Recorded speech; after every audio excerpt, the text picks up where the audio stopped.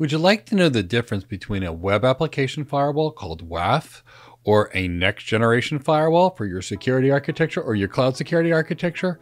If so, this video is for you.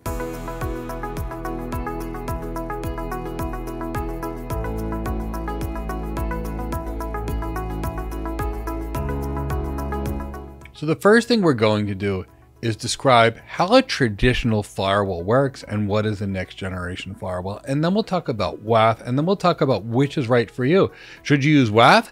Should you use a next generation firewall or should you use both? So let's begin discussing the way a traditional firewall works and uh, their capabilities. So for the most part, all firewalls for the last number of years are what's called stateful. So we'll show you what we mean by that. We'll place the firewall over here. We will place uh, the internet over here, and we'll actually place a little web server on the internet to, to show how a firewall works.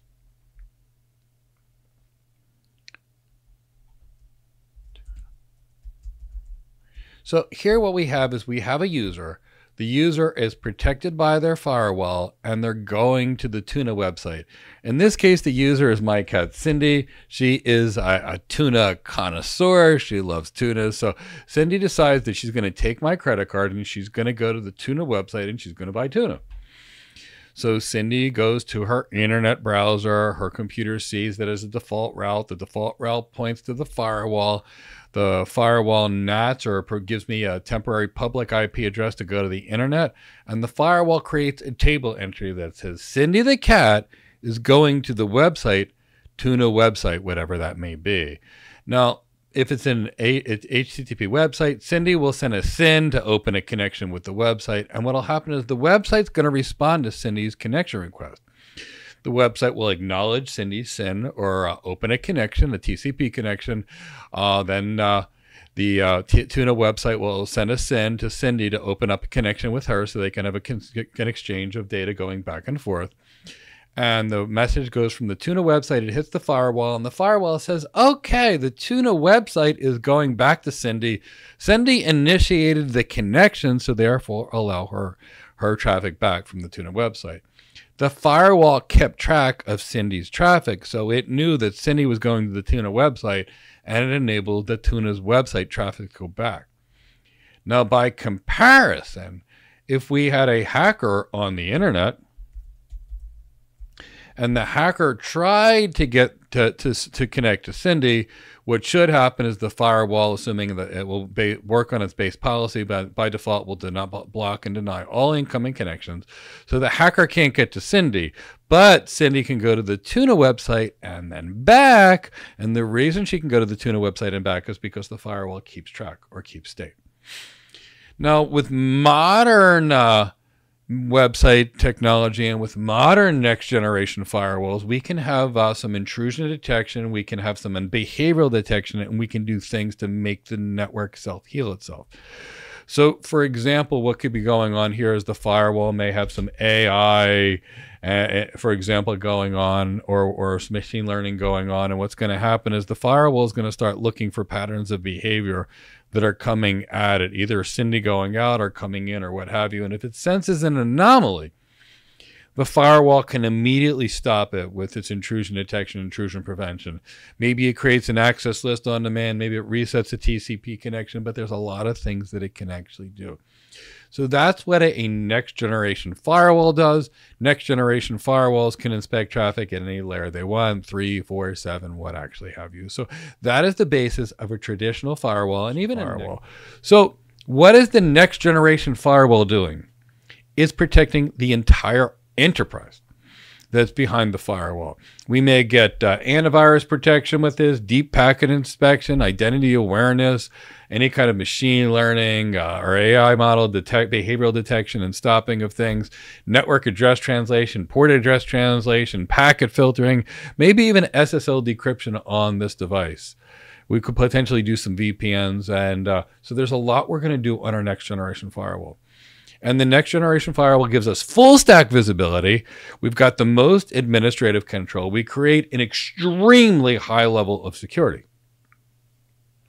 And these typically meet stringent compliance standards. Now, We typically have to buy these. They're typically a little more expensive than a web application firewall. These are designed to basically provide security for everything, and they're darn good at what they do. Now we get to a web application firewall that's specifically designed to protect web applications. And these are layer seven firewalls that are very good at looking at web applications and securing web applications. These web application firewalls act as a shield between the uh, web application themselves and the external users. Now, uh, we can detect a lot of web specific attacks with these types of things. Unauthorized access is typically blocked.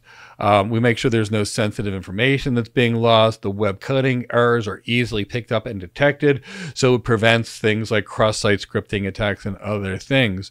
And typically, with a web application firewall, it can handle a lot of web connections very quickly. So the web application firewall is specifically designed for web applications and it does web applications better in some cases than a next generation firewall, but it doesn't provide that overall level of protection. So if we think of a web application firewall, it's often used as a second line of defense. It enables very nimble reaction to threats.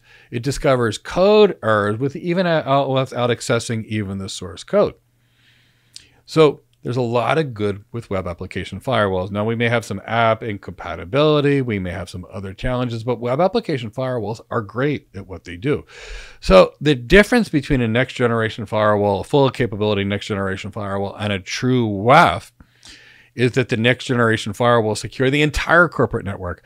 They defend against all kinds of threats, whether they, whether they, where, where they're coming from, whether they be based on apps, ports, protocols, everything where web application firewalls focus solely on safeguarding a web application from specific targeted web attacks. Now, not all web application firewalls are the same. There are some that are very adaptive in nature. There are often others by cloud providers that are more signature based and less adaptive. So, not all WAFs are created equal. You'll have to choose the enterprise WAF or whatever WAF is needed for your environment. So, do you choose a WAF solution or do you choose a next generation firewall?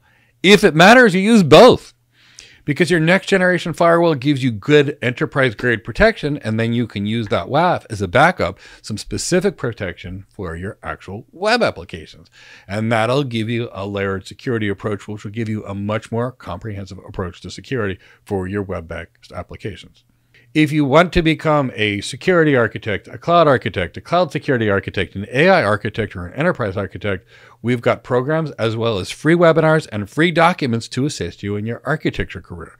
You can register for a free webinar where we'll talk about how to become an architect, the skills you'll need for the architecture role of your choosing, and then we typically spend 60 to 90 minutes answering any kind of architecture career questions you may have for cloud architect, enterprise architect, security architect, AI architect, or any architect career for that matter.